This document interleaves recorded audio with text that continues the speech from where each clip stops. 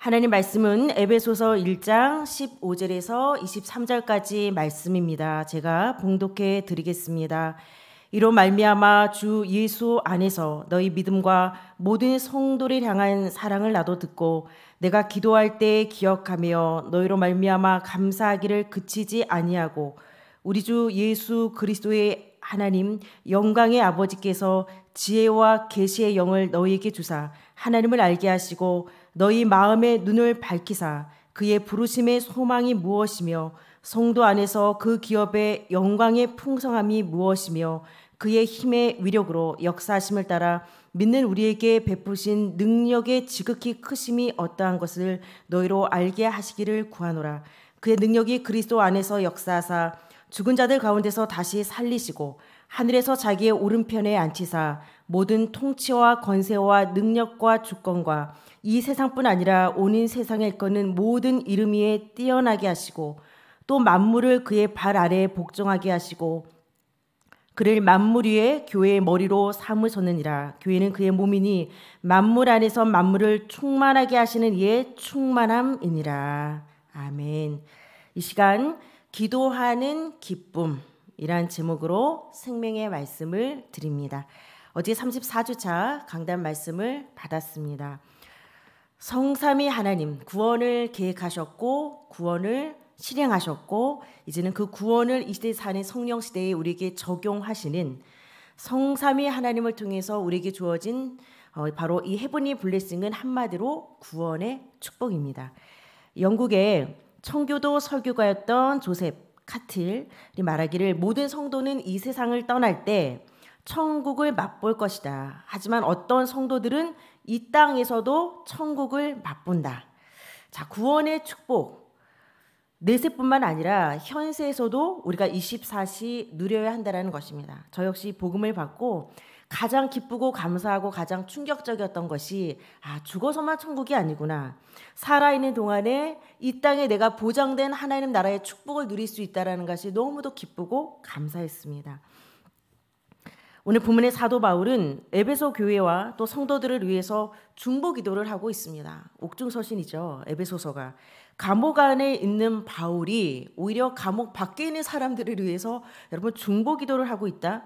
이것은 자신의 한계도 자신의 환경도 이제 문제가 되지 않다라는 것입니다. 이 모든 것을 초월해서 바로 기도에 하는 기쁨을 맛보았기 때문에 가능했던 것입니다. 자, 원어적으로 보면 이 문장 자체가 1절부터 14절까지가 성삼위 하나님이 주시는 구원의 축복을 다루고 있는 게 한 문장으로 되어 있고요. 또 오늘 본문인 15절부터 23절까지가 169개의 이 헬라어의 단어로 이루어진 한 문장으로 되어 있습니다. 그처럼 쉬지 않고 기록할 만큼 기도하는 기쁨이 그만큼 컸다라는 것을 의미하고 있습니다. 그렇다면 여러분 기도가 다 같은 기도가 아닙니다. 어, 목사님께서 말씀해 주신 대로 동전의 양면처럼 기도와 말씀이 같이 가야 된다는 거죠. 그래서 우리는 이걸 내음절로 언약 기도다라고 말씀하고 있습니다. 여러분들이 하루를 시작하고 또 하루를 진행하고 마무리하는 데 있어서 아침에는 하나님이 주시는 힘을 얻어야 되지 않겠습니까? 남은 자의 플랫폼 정시 기도로 힘을 얻으시고 낮에는 모든 만남과 사건 또 여러분 바로 밟는 모든 발걸음마다 하나님의 뜻과 계획을 찾는 순례자의 파수꾼의 무시 기도 속으로 모든 만남과 모든 환경을 다 기도로 연결하는 거죠. 그러면서 밤에는 이제 하나님과 깊은 소통을 하는 가운데 하루를 돌아보고 점검하는 가운데 이제 정복자의 안테나에 집중 기도 속으로 들어가시기를 바랍니다. 저는 감옥 안에 있었던 사도 바울이야말로 정말 이러한 기도의 비밀을 누렸구나. 감옥 아니었지만 오히려 감옥 밖에 있는 사람들을 움직이고 사람들이 그 감옥으로 모이고 훈련받고 파송되어지고 제자를 세우고 파송하고 세계복음화에 쓰임 받은 바울처럼 진정한 플랫폼과 파수꾼과 안테나에 기도를 했던 사람이 바로 사도 바울인 줄 믿습니다. 자, 기도를 강조하는 이유. 마가복음 9장 29절에도 나와 있습니다. 이런 이유는요. 기도 외에는 안 된다는 것입니다. 바로 기도 외에는 영적 싸움에 우리는 승리할 수 없기 때문입니다. 서른에도 목사님께서 말씀하신 대로 종교개혁자 마틴 루터 기도를 소홀히 한다면 나는 믿음의 많은 부분을 잃어버릴 것이다. 즉 기도하지 않으면 하나님께서 주신 무한한 축복들, 성령께서 나를 인도하시고 성령의 충만함 같은 이런 중요한 믿음의 중요한 부분들을 놓쳐 버릴 수 있다라는 것입니다. 아무쪼록 어, 이번 주 강단을 통해서 여러분들이 기도가 노동이 아니라 기도하는 기쁨을 체험하시고 언약적 기도의 사람이 되시기를 주님의 이름으로 축복합니다. 자, 첫 번째로 보좌의 축복 체험입니다. 사도 바울이 에베소 교회 성도들이 해분이 블레싱을 누리는 삶을 살 수 있도록 정시로, 무시로, 집중으로 지금 중보 기도를 하고 있습니다. 자, 특히 에베소 지역은 사도 바울의 마음에 담겨 있는 현장이죠. 소아시아의 중심이기도 했고 제2의 로마라고 불려질 만큼 굉장히 복음 확산을 위한 플랫폼의 역할을 할 수 있는 현장이었기 때문에 사랑하는 믿음의 아들 제자죠. 디모데를 파송해서 사역을 할 만큼 굉장히 집중했던 그런 현장입니다. 본문 10절에서 19절을 참고로 보면 사도 바울의 이제 중보 기도 내용이 나옵니다. 그 중보 기도 내용을 어, 한 줄로 요약한다면 바로 보호자의 축복을 누릴 수 있도록 기도했다라는 것입니다. 그 첫 번째 중보 기도가 에베소 교회 성도들에게 하나님께서 지혜와 계시의 영을 주셔서 하나님을 알게 해달라고 중보 기도를 했습니다. 여러분 아시다시피 계시라는 것은요 뚜껑을 열어서 그 안을 훤히 보여주는 것입니다. 하나님께서 하나님의 비밀인 그리스도 이 복음의 비밀을 이 시대에 우리에게 계시해 주신 거거든요. 이미 복음이 다 드러난 시대를 살고 있습니다. 자, 그렇다면 지혜라는 것은 하나님께서 우리에게 보여주신 계시를 내가 깨닫고 받아들이는 능력이 지혜입니다. 아무리 하나님께서 뚜껑을 열어 그 복음을 다 오픈해 보이셨어도 여러분 깨닫지 못하는 불신자들 많이 있습니다. 그냥 그리스도라는 정보를 얻었을 뿐이지 실제로 영접하지 않잖아요. 따라서 계시하시고 어, 우리에게 지혜를 주시는 영이 바로 성령이시기 때문에 지혜와 계시의 영은 바로 성령 하나님을 말씀하고 있습니다. 따라서 성령께서 하나님의 깊은 것까지도 통달하신다라고 말씀하셨습니다. 성령의 감화 감동과 성령의 인도하심과 그 감동을 주셨을 때 우리가 하나님을 지식적으로 아는 것이 아니라 체험적으로 알아갈 수 있다라는 겁니다. 저는 이 강단 말씀을 묵상하면서 어, 몇 군데의 성경 말씀을 좀 묵상하게 됐습니다. 하나님을 우리가 깨달아 알고 이 복음이 들려지라는 것은 전적인 이건 성령의 역사라는 거죠. 참고로 요한복음 1장 5절과 11절에 보면 빛이 어둠에 빛이 돼 어둠이 깨닫지 못했다고 했습니다. 참 빛으로 빛으로 오신 예수님을 자기 백성이 영접지 아니하였다.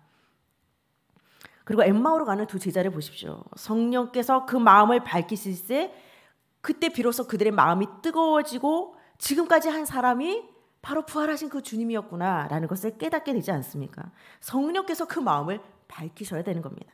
그러면서 저는 마태복음 16장 17절 말씀을 함께 묵상하게 됐습니다. 바요나 시모나 내가 복이 있도다.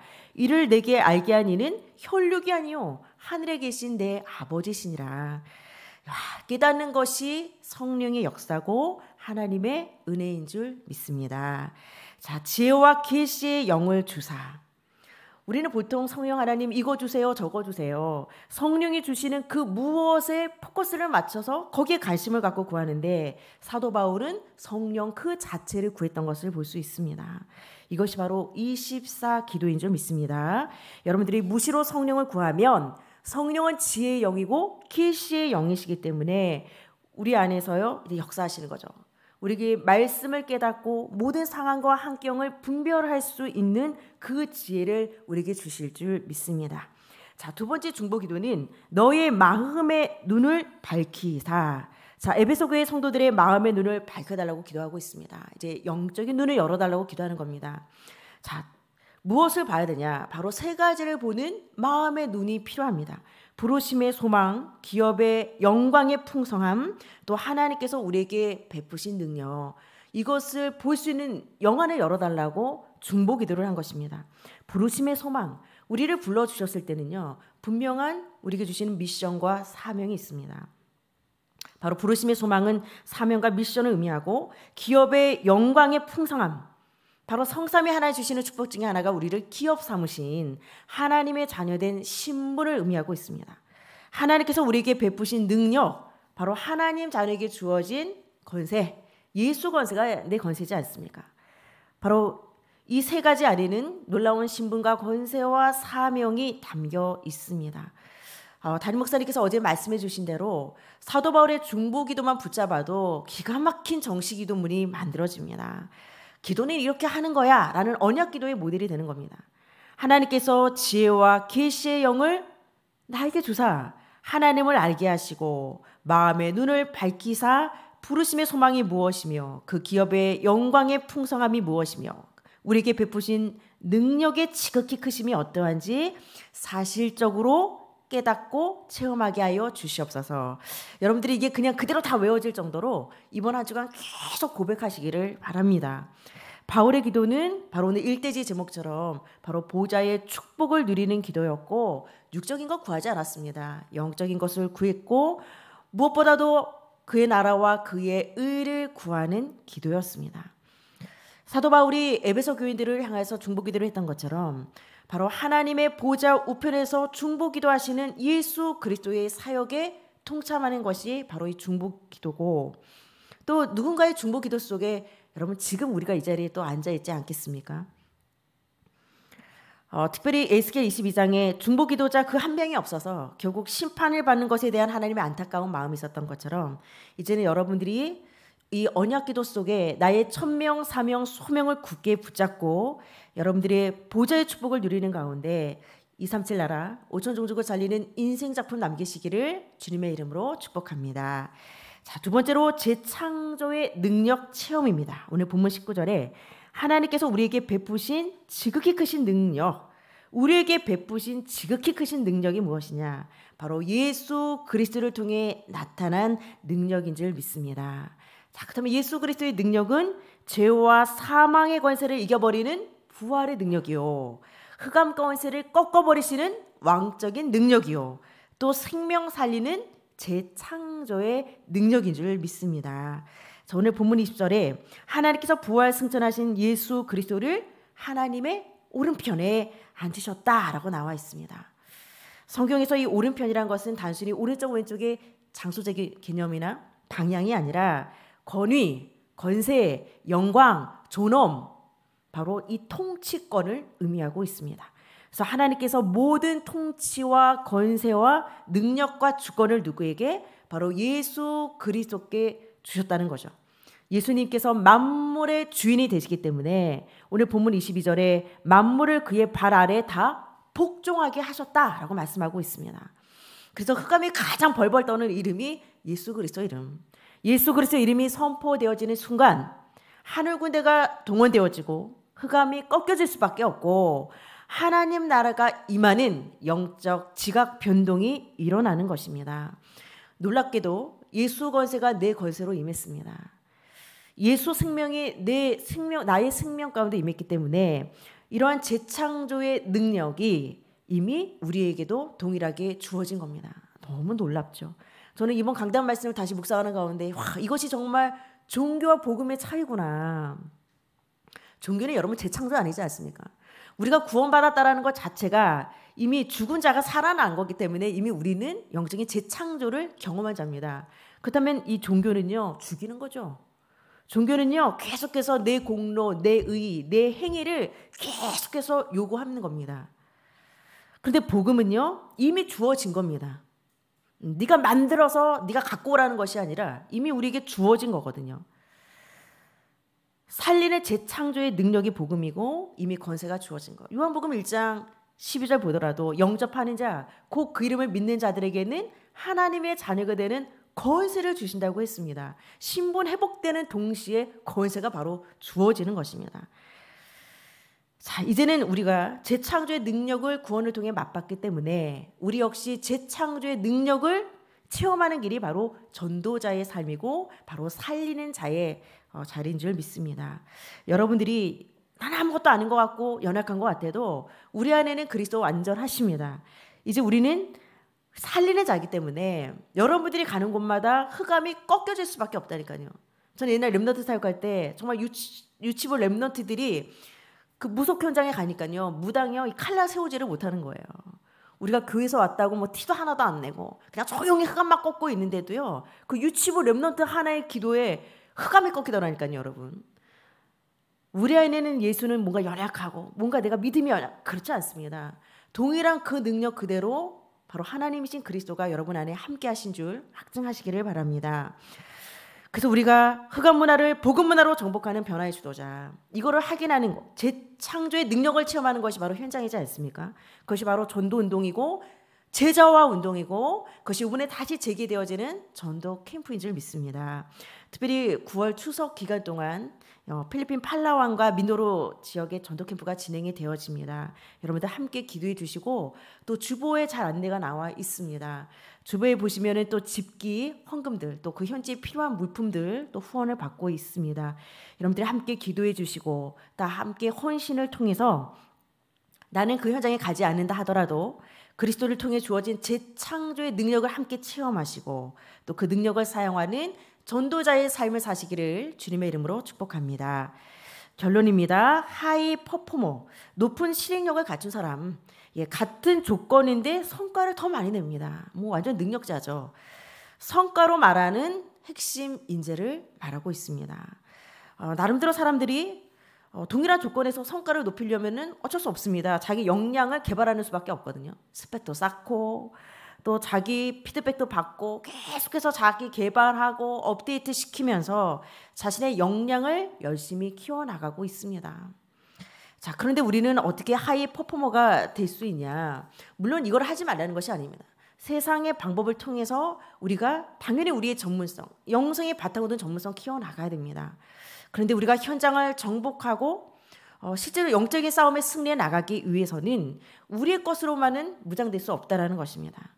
그것이 바로 기도로 우리가 이 세상을 넉넉히 이겨 나갈 수 있습니다. 제가 우리 성도님들 만날 때 가장 많이 쓰는 표현 중에 하나가 피 튀기는 경쟁 시대에 경쟁자가 없는 그래서 늘 레드 오션과 경쟁자가 없는 블루 오션을 말씀드리고 있습니다. 자, 사도 바울처럼 기도를 통해 이제 성령의 충만함을 받고 비로소 경쟁자가 없는 블루 오션의 응답을 누리게 하실 줄 믿습니다. 야, 진정한 하이 퍼포머가 누구였을까? 사도 바울. 예, 감옥도 문제되지 않았습니다. 오히려 같은 조건에서 좋은 성과를 낸 것이 아니라 너무도 부족하고 힘든 옥중 현장 속에 그 많은 핍박 속에서도 오히려 세계 복음화의 최전방 가운데 전도 운동에 쓰임 받았고 지금도 우리는 그 사도행전적인 바로 성경적인 전도 운동을 우리가 함께 따라가고 있지 않습니까? 진정한 하이 퍼포머가 사도 바울로 끝나는 것이 아니라 이 시대를 살아가는 우리에게도 동일하게 하나님께서 이 능력을 부어 주신 줄 믿습니다. 어, 이번 한 주간도 여러분들이 기도의 기쁨을 마음껏 체험하심으로 하나님을 가장 영화롭게 하는 하이 퍼포머로 또 여러분들이 거듭나시기를 주님의 이름으로 축복합니다.